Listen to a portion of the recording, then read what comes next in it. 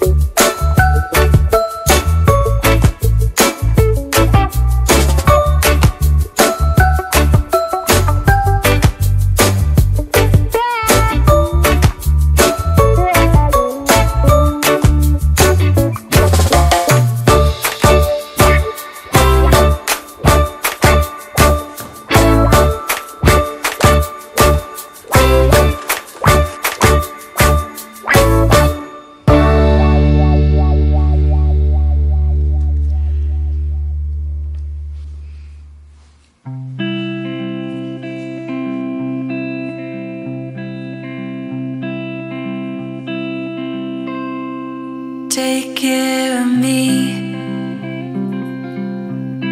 and my fragile heart. It's yours to keep, but it can break apart. I'll take care